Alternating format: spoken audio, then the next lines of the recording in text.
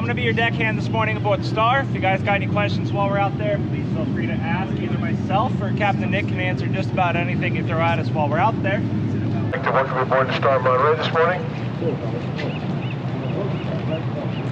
Just to over a couple things that Ken was going over there again here. Just uh, life jackets on this boat are located inside the lounge area, stored in the benches. And at the end of each bench is clearly marked how many life jackets are in each bench.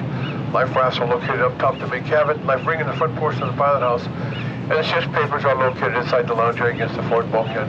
For your safety while we're at sea, we have a few little rules like everybody kind of pay attention to. We don't want anybody running or jumping on deck or standing on the benches in the front end of the boat or the aft end of the boat. We're just trying to do the trip as safely as possible. So a couple things go a long way towards getting that done. If you're going to be standing up to the rail while the boat is oh, traveling, hang on to the rail. Don't hang on to each other, hang on to the rail. Very important.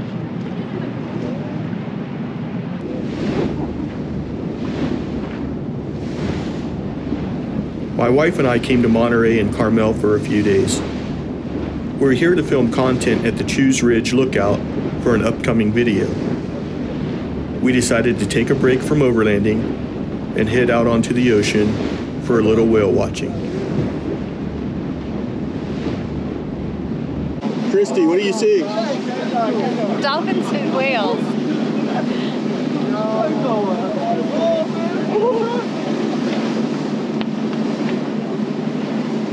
Right,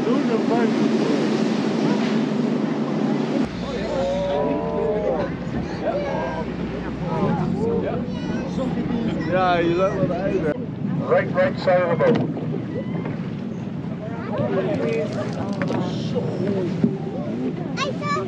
As you come around the back side of the cabin there, come forward. Come just the whole side of the boat over here on the right. Humpback whales. These whales are feeding here, gang. That's what they're doing. They're feeding. There's just a small bunch of sea lions here. They got a great big school of fish and they're feeding here. Humpback whales are the only ones that do exactly what we're seeing here right now. Feed with each other cooperatively and also feed with other animals, sea lions and dolphin and porpoise also. This Monterey Bay in Central California here, just uh, region here, is very unique along the coast of California because the edge of the continental shelf comes in very close to shore. So when these winds blow, the upwelling is very intense in this area. We also have a huge submarine canyon that dissects the bay right down the center. And uh, at its deepest point is about 11,000 feet. So in this area, the upwelling is just extremely intense. And uh, so massive amounts of plankton and food gets hooked up back inside the bay here. And so when these large schools of fish come into the bay, then the, uh, they have a tendency to want to stay in, in the bay because there's massive amounts of food for them. There's no reason for them to leave once they get here. So what's happening here is that most of what most of what we're not able to see here is these these whales and the, and the sea lions are pushing their school of fish. It's really not that big of a school of fish. If they're moving this fast, in general, it's not that big of a school of fish. But so they're pushing it, and they're and they're and they're pretty much just scaring the daylights out of it. And when that happens, the fish have a natural tendency to come very tightly together. Actually, the, the tighter they come together, the more beneficial it is for the animals. As soon as that happens, as soon as they can get them to, very close together, the whale will come charging through that school of fish. As it does, it opens up its mouth really wide. They, they uh, Folio gave that mouth to be 12 to 13 feet across. And at the same time it's opening its mouth, it's, it's expanding its gullet. They have huge gullets. The gullets extend from the tip of their chin to about the middle of their abdomen, and they have what are called ventral pleats. Ventral pleats very simply allow the whale to expand its gullet out to about twice the size of its normal girth. So, so this everything that's taken me so long to, to say or to, to, to explain actually happens in about two and a half seconds. And uh, so at the instant that the, that the gullet is full, holding upwards of a thousand gallons of water, the whale closes its mouth and then starts contracting or squeezing the water back out through its baleen. Baleen is kind of a keratin-like substance, kind of like your fingernails actually. And it grows in strips or plates, if you will, on the perimeter of the upper jaw. And they have little furry combs on these plates. So the water passes through the combs, holding in the prey. And if everything works right, the water goes out, prey stays in, you got a happy whale. Kind of a fisherman's luck type thing. Sometimes it gets a whole bunch, sometimes not so much. But when they're doing this type of a thing here, right here, where they're feeding cooperatively, the things, things are really good for the whales. they get a lot of food. Each one of these whales that we're seeing here today can eat upwards of a thousand pounds of these anchovies. 1,000 pounds. These are smaller whales. The larger whales could eat upwards of 1,500 pounds of, of a large whale. These are not what you call really big whales. They're big, but not, not like some of the really big ones. Dat wel. Zeemeel, je bent hier aan het eten, maar je is gegeten door een uh, zeemeel. Ja, dat kan ook inderdaad. Ja.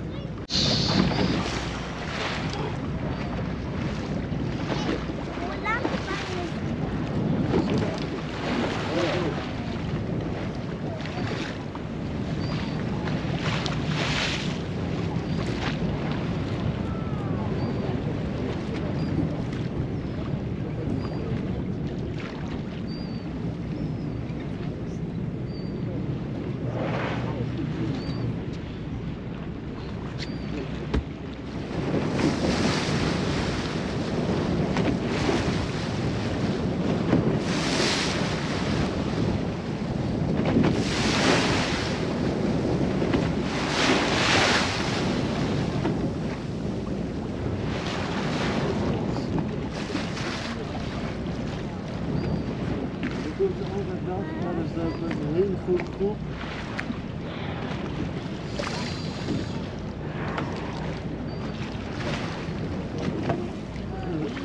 Ja, goed. Yeah, pretty much just like that, it's over. Whales are going their way, the sea lions are going another way.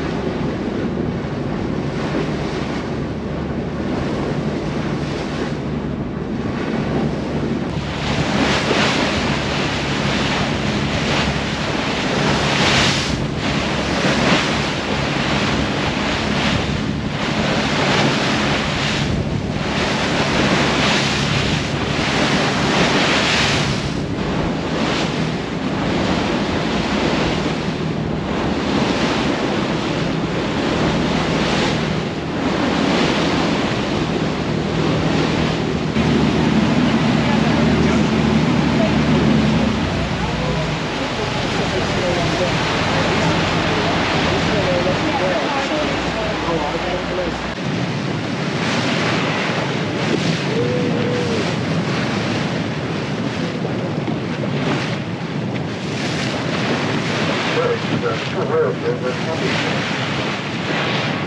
over here on the right, and one right between the two, one on the left, one on the right here.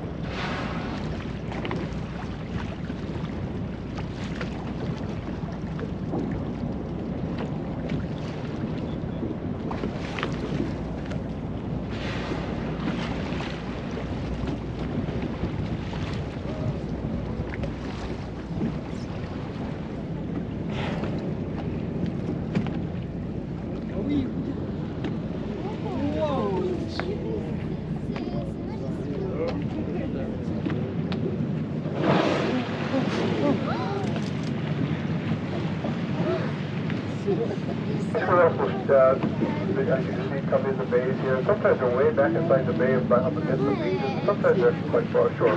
Wherever the fish are, that's where you find them. And uh, they'll in this till about mid to late November.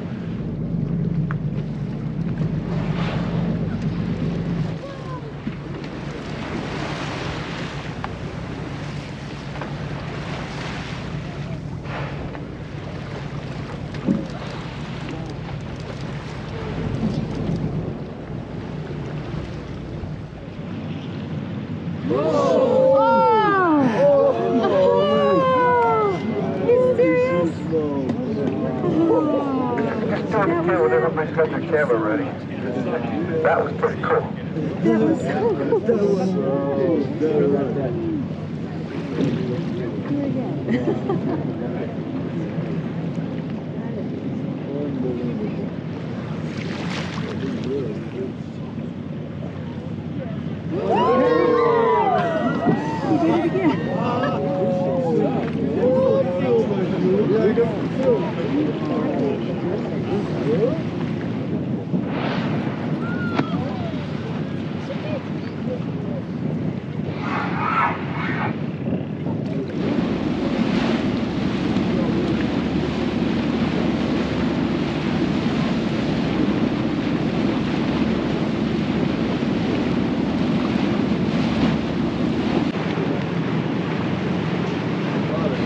Okay, guys, so as you come into the harbor here, just a couple of quick things. As we pull up to the pier, would appreciate it very much. Please keep your hands and arms inside the boat, especially if you're on the front right side. It gets really close. We don't want to see anybody get their fingers squished to his hands inside the boat, please, not even on the rail. It'll take us just a couple minutes to get the boat tied up. Please give us that time. Then your deckhand is going to lend a hand with the offloading. Please do accept the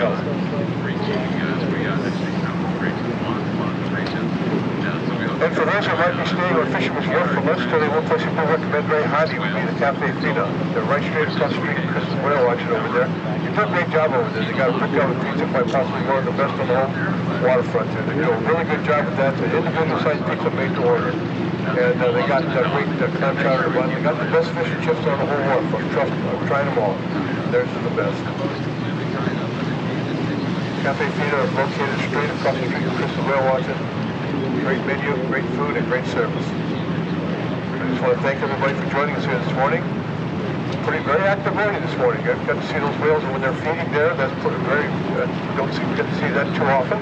And um, a couple of nice lunch feeds or sun, side lunch there. And then, uh, of course, that that calf jumping down the water. That was pretty cool. Anyway, I hope you had a good time. Hope you enjoyed it. If you ever get back this way again, come back and see us again sometime. Thank you very much.